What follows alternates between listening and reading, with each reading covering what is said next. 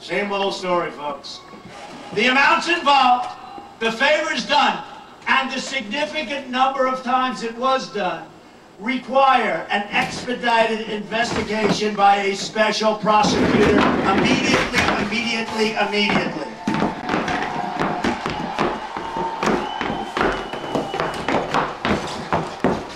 After the FBI and Department of Justice